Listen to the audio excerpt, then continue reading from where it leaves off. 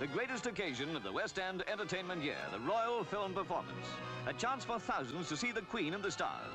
The great Yul Brynner, for example. And representing the young ones, Cliff Richard escorting his mother.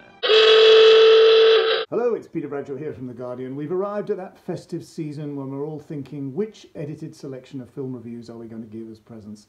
So relax and enjoy this gorgeous love letter to Christmas past.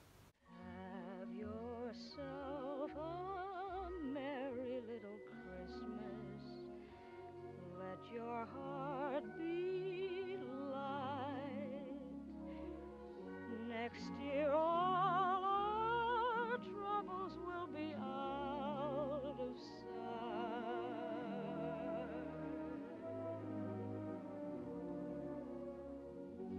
Have yourself a merry little Christmas. Click on the link below to bookshop.org. My first film is The Prom, directed by the dark master of musicals himself, Ryan Glee Murphy. wanted to take her girlfriend to the high school prom. And the PTA went apeshit and they canceled it. We have got to go down there. Yes. Raise holy hell. Yes, We will be the biggest thing to happen in Indiana since whatever's happened in Indiana. We have come to this community on behalf of a young girl.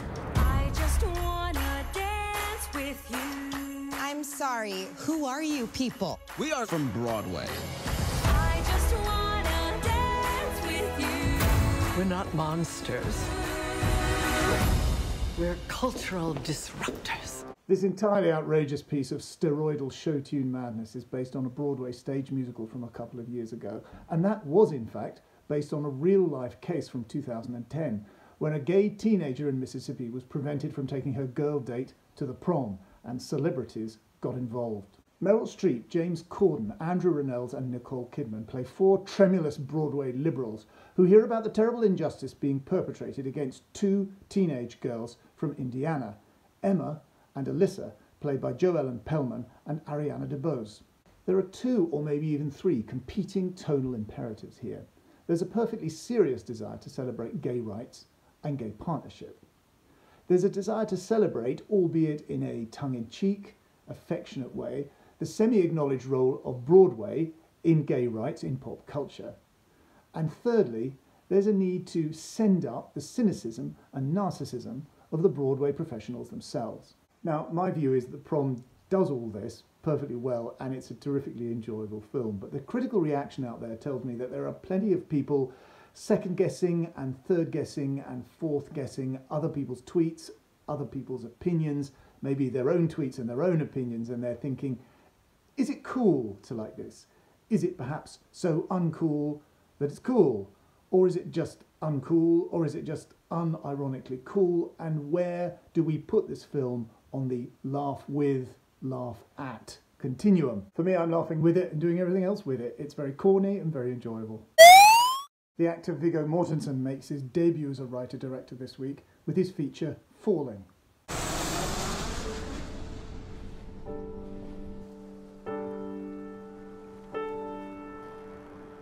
How was your trip out here, Daddy?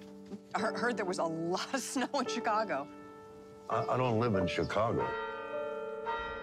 You asked me to come get you. Remember? You said you couldn't handle the farm anymore.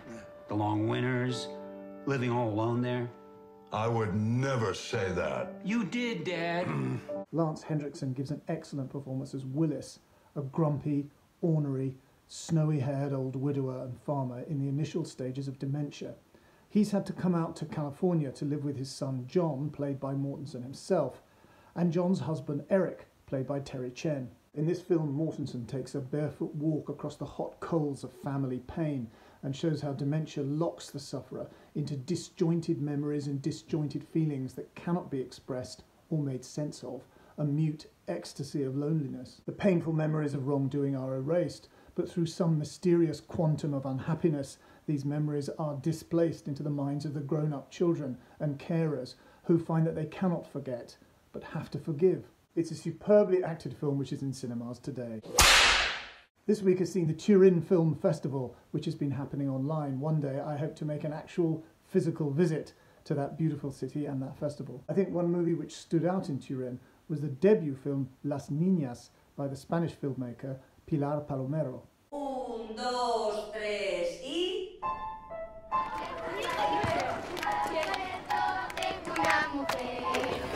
tú tuvieras que preguntar una cosa a una niña, a una de estas sí. colegialas, Sí. ¿qué les preguntarías? No les preguntaría, les daría un consejo. Póntelo, pónselo.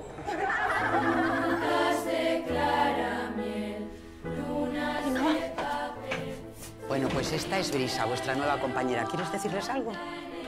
¿Conoces este grupo? Pues quieres que te grabe una cinta si los conoces. This is from the producers of that other excellent Spanish film, Carla Simon's Summer 1993. It's about childhood, about innocence, about loneliness, and about friendship. I really hope it comes to the UK soon. That's it. Please subscribe to this channel, give it a like, and give it a share on social media. Thank you.